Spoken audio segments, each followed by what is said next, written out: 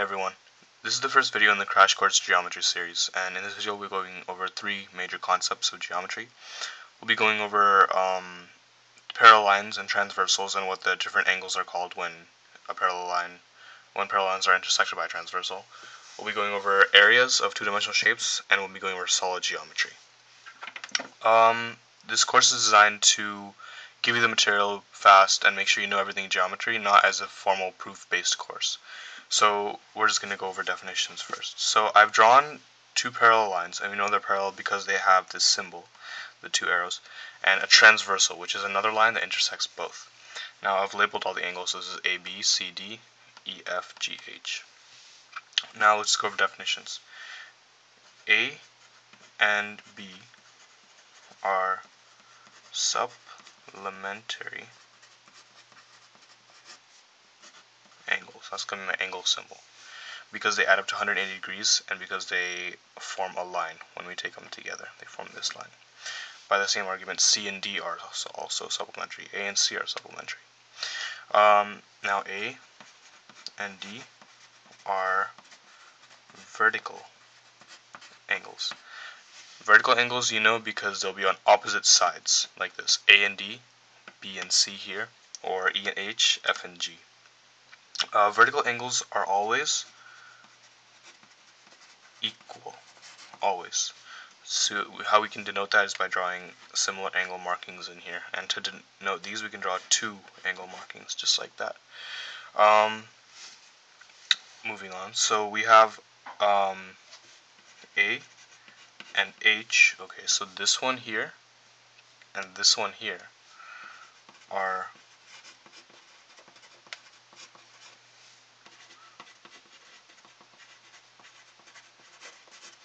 alternate exterior angles. We can tell because this one is over here, and at the very opposite corner of our diagram here is the other angle. They're exterior, they're opposite exterior. Um, and now looking at D and E, these are called alternate uh, interior angles.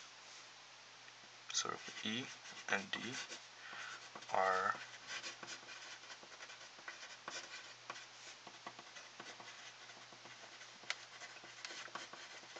are alternate interior angles. And so we have to know something about these. Alternate interior angles are always the same. So D equals E, or the measure of angle D equals measure of angle E. And same thing with alternate exterior angles. The measure of angle A equals the measure of angle H. Okay?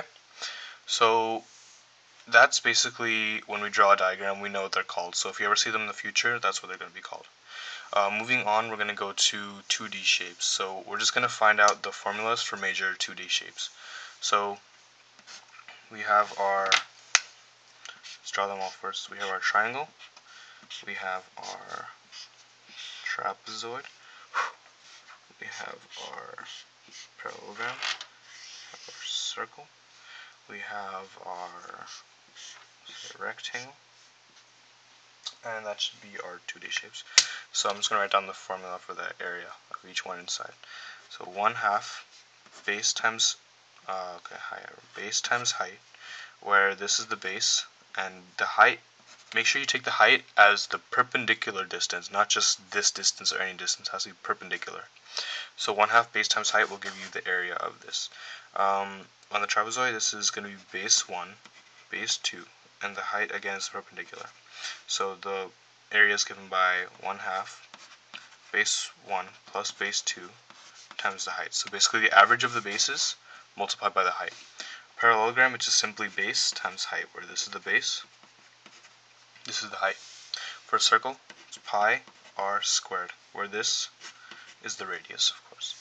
For a rectangle, is simply length times width, and for the special case of rectangle, which is a square, it's going to be side squared, because length and width are the exact same.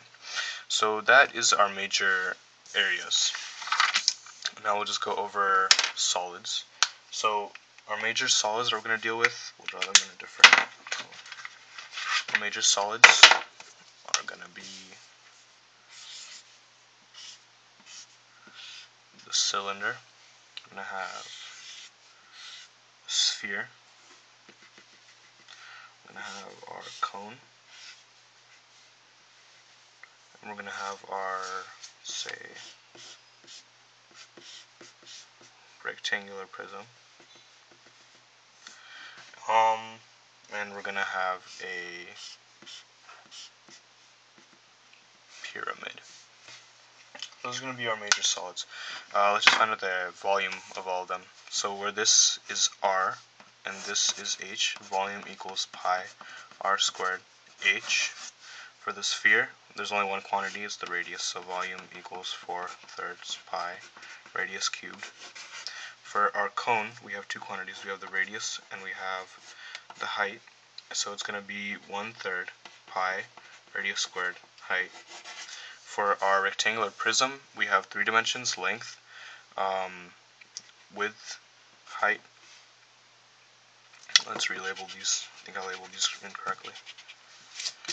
Um, this will be our height, this will be our length, and this will be our width. So this is our width. So either way, it's going to be volume equals length, width, height.